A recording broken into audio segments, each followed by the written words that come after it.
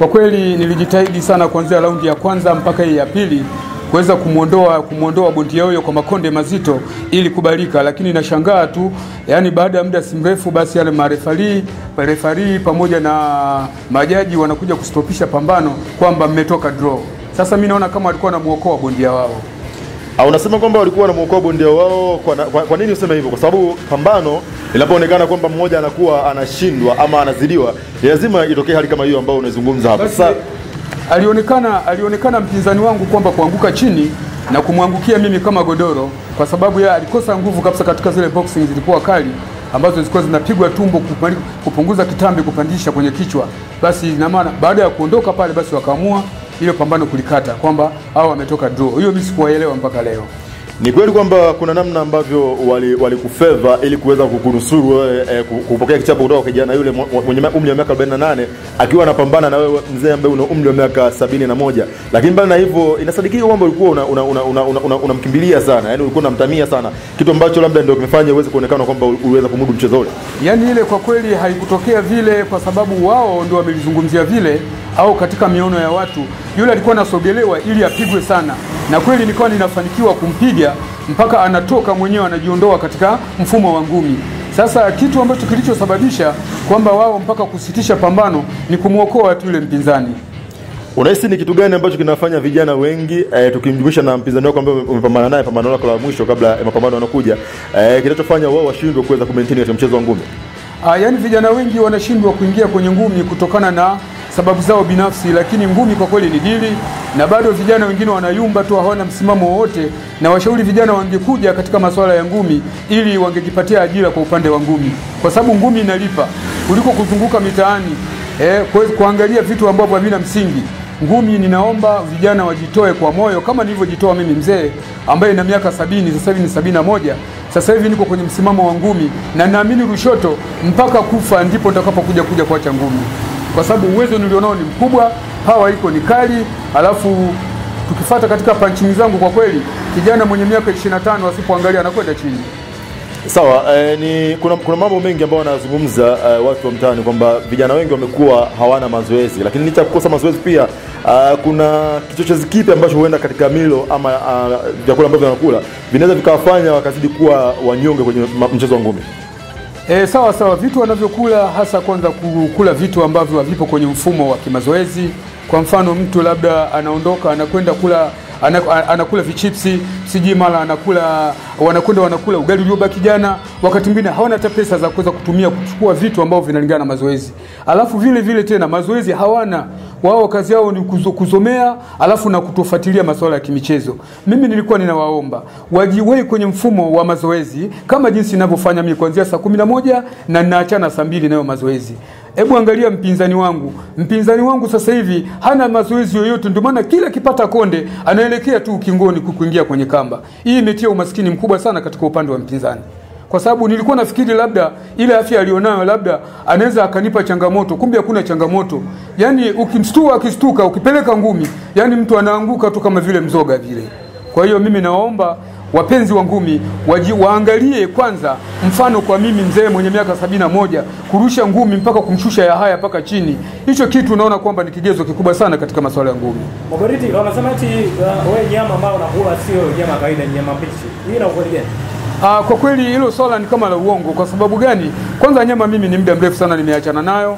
Yaani mimi ninatumia mboga za majani pamoja na mchicha ambavyo vinazidi kujenga chesti, alafu na katika pumzi zangu, yani ninaweza nikakimbia hapa mpaka Segera kwenda na kurudi. Ninaondoka saa tisa na dakika arobaini usiku, alafu ninarudi saa tatu na nusu za usiku.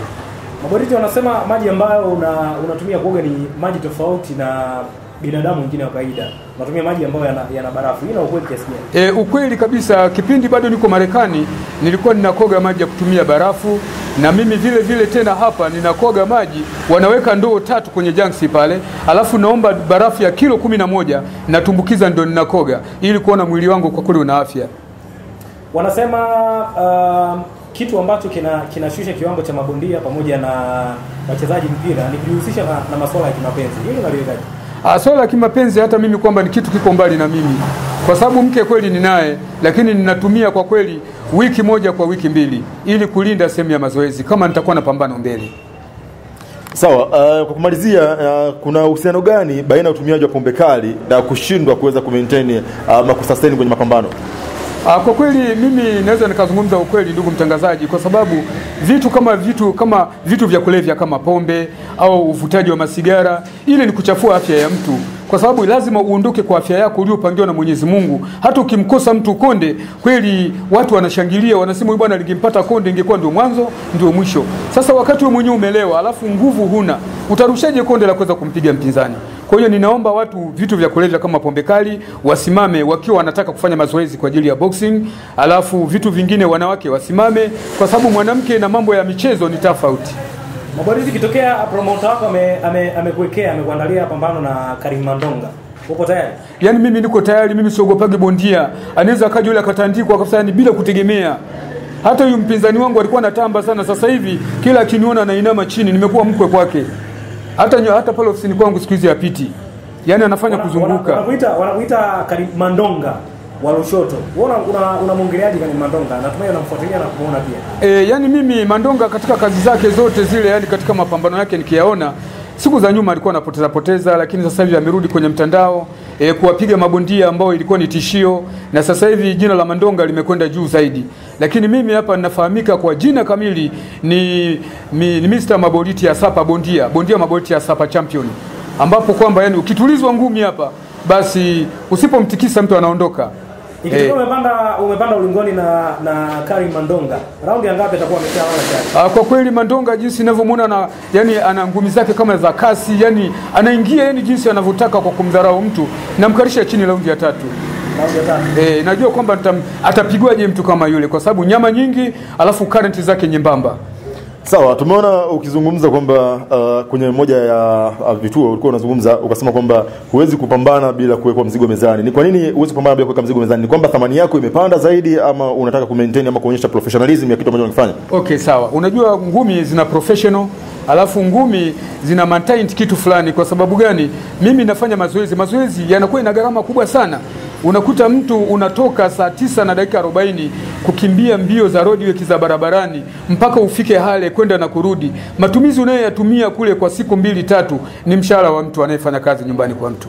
Kwa hiyo niliomba kwamba nikiwekewa nikiwekewa mzigo mezani hiyo laki moja, mimi najua nitafanyeje mpaka niwafurahishe wanarushoto kwamba mtu anapigwa naonwa hivi hivi.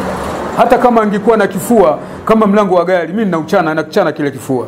Kwa thamani yako Maborito ni shilingi laki moja. E, laki moja tu mde, yani zikishawekwa mezani basi mimi biashara imeisha Umesema unakimbia kutoka Lushoto mpaka wapi? mpaka Hale. Kwa siku moja. E, kwa siku moja naondoka saa tisa na dakika arobaini kule Hale naingia saa nane na nusu Saa nane na nusu. e, nane na nusu mchana Na kutoka kule kuja huku nakuja na kule ninatoka saa tisa natoka kwa mguu kwa saa tisa huku naingia saa nne za usiku. Sawa, e, tumeweza kufanikiwa kuzungumza na uh, Maboliti ya Sapa ambaye e, ni bondia nguli kutoka Lushoto, lakini pia ni bondia ambaye anawakalisha walio wengi na ni bondia ambaye ana umri mkubwa kuliko mabondia wengine hapa mjini Lushoto, na mbali na kuwa na umri mkubwa bwana, ni kwamba ni bondia ambaye ana mazoezi makali ambayo uh, yanaweza kufanya uweze kujifunza kupitia, lakini pia amesema kwamba cha pekee ni kwamba hawezi kupambana bila kuwekwa mzigo mezani, kwa sababu anafanya ma mazoezi ambayo yanamgharimu kwa namna moja ama nyingine. Basi na nikutakia wakati mwema ambapo umeweza kujumuika na sisi kuanzia mwanzo hadi tamati, na huyu ni Mabuliti ya Sapa. Uh, hii ni eh, moja kwa moja interview ambayo tufanya naye kutoka hapa Lushoto. Asante sana kwa wakati wako na karibu tena kwa wakati mwingine.